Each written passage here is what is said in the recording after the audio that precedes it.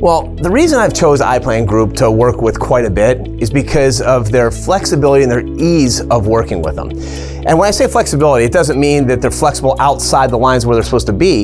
It means that they take our phone calls and they return our phone calls and they cut checks and disperse and wire funds, which is all pretty important because the way we get deals in this business is speed. Money loves speed, and iPlan realizes that, and that's why we love them because they can move quick like we can.